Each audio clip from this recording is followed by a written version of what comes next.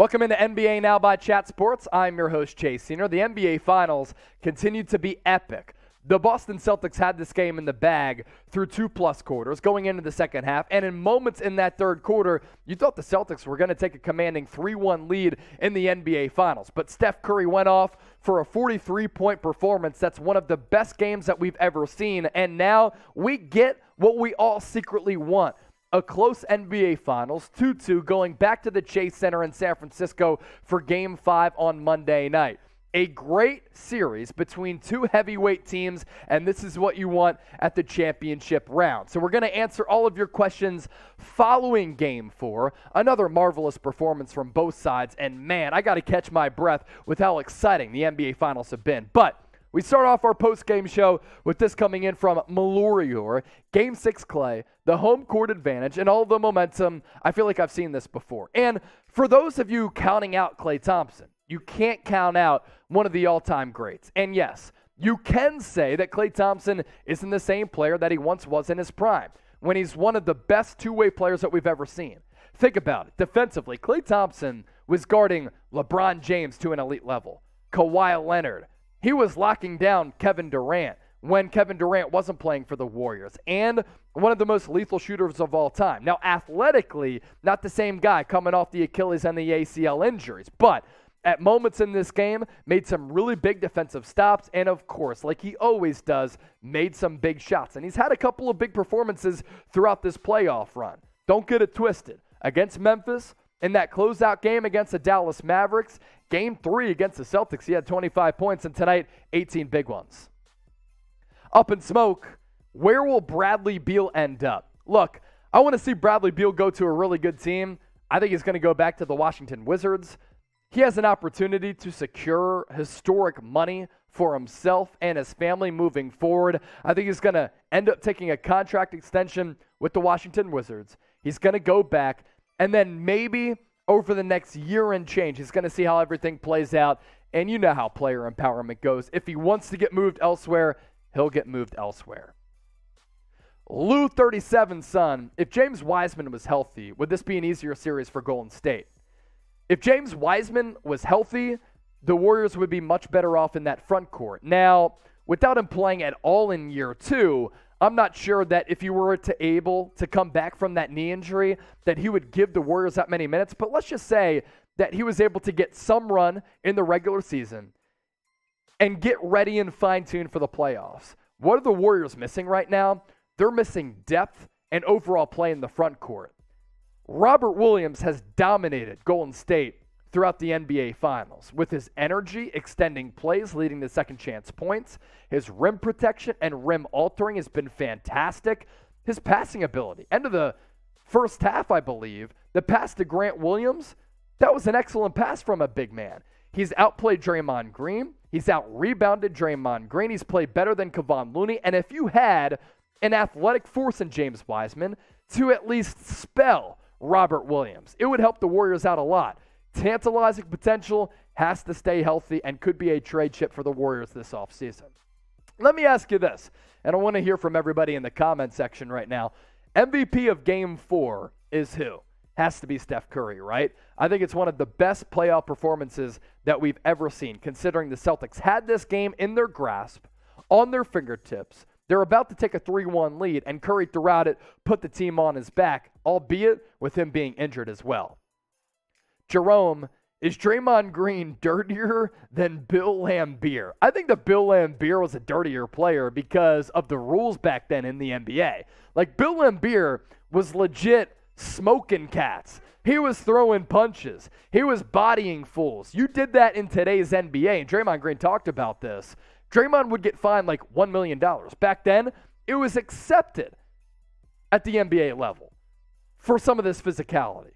A lot of us watched the Last Dance.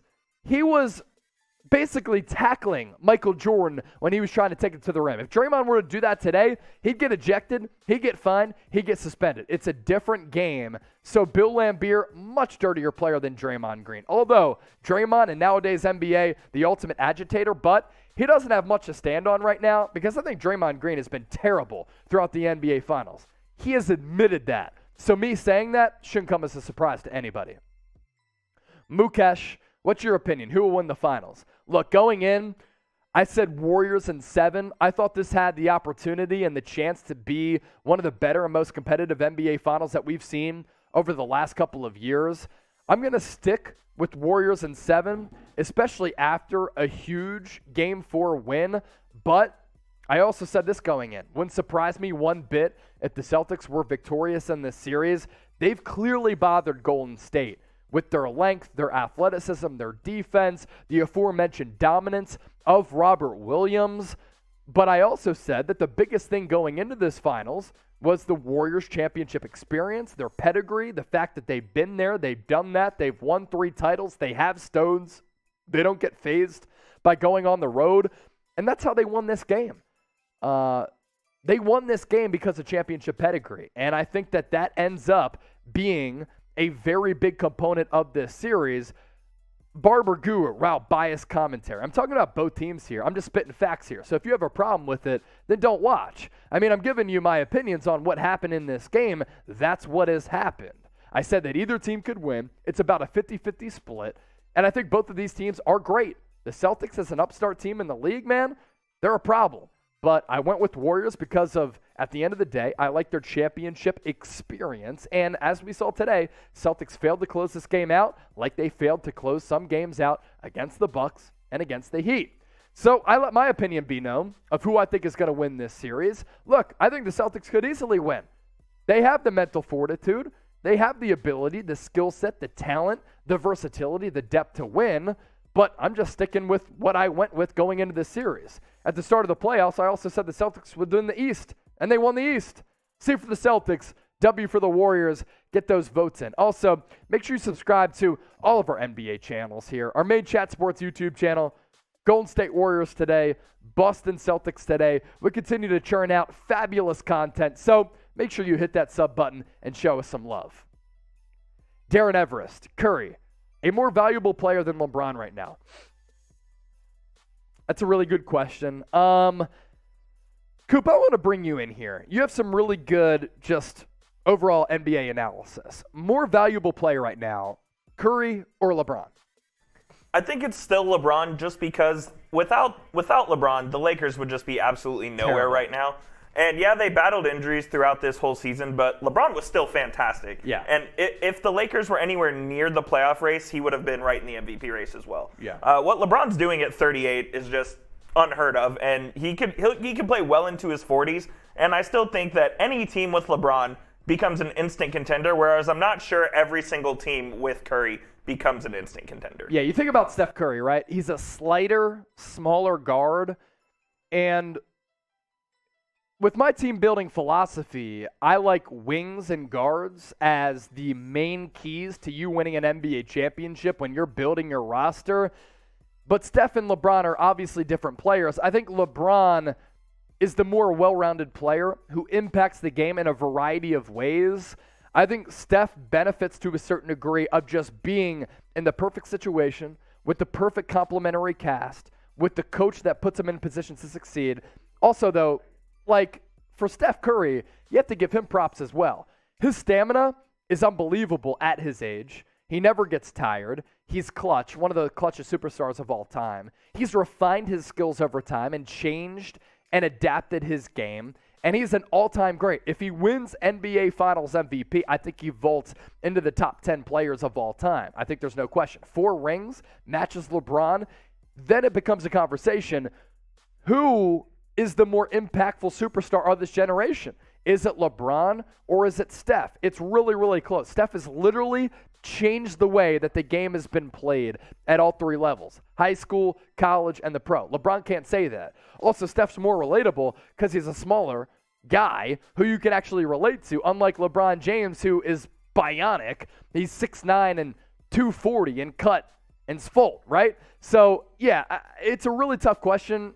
Darren, a great question. Thank you for that. Lord Dink, last question in our post game show. What y'all think about Beal going to LA? If you're the Lakers and if you're the Wizards, what do you want back for Bradley Beal? You're not getting Russell Westbrook back to DC. It would have to be a three team trade, and the Wizards would have to get a lot. The Lakers lack money. They lack trade assets. They have no draft capital. They try to dangle that 2027 first round pick. Cool. I mean, it's 2022, right? So, what are the Lakers going to give up for Bradley Beal? Russell Westbrook? Kendrick Nunn?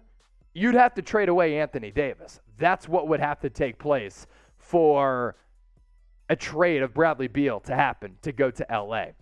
Okay, one more time, get your predictions in before we hop on out of here for our post game show. Give us a C for the Celtics, W for the Warriors, a phenomenal series transpiring, and we'll be breaking it down right here on Chat Sports.